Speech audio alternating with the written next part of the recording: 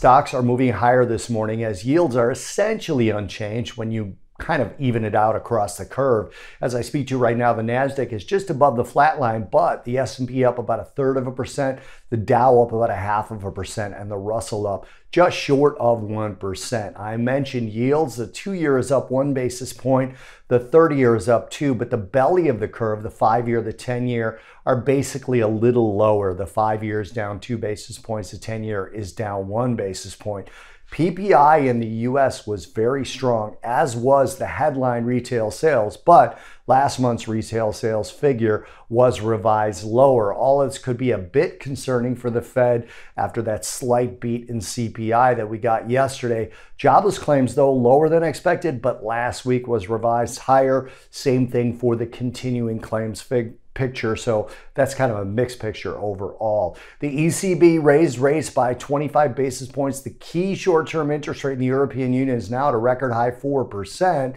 Yields are lower in the EU as Lagarde wouldn't commit to a pause but implied that they had reached their goal in terms of the level of rates. The dollar is much higher in the aggregate today, and the euro is down six tenths of 1% against the dollar.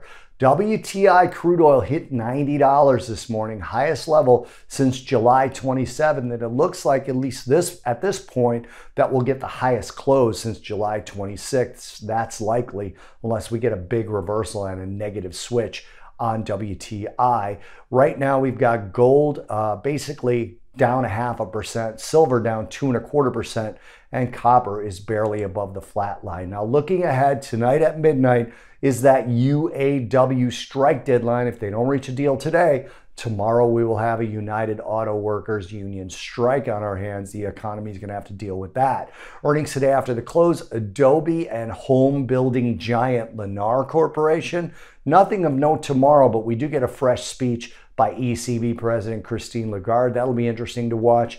In terms of data, tonight we get Chinese industrial production, their unemployment rate, and their retail sales. Tomorrow morning early, we get the Japanese tertiary index. Tomorrow, later in the morning, U.S. industrial production and the preliminary September Michigan sentiment data, as well as the inflation expectations out of that same university.